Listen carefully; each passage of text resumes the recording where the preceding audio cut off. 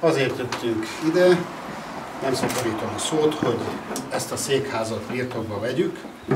átvegyük, lényegében átadjuk magunknak használatba, mert mindaz a munka, amit eddig belefektettünk, az most fog gyümölcsözni. Kérem szépen a tisztelt taktársakat, elnök úr, elnök úr, és sok elnök urat, és hölgyeim és uraim, álljunk fel és énekeljük a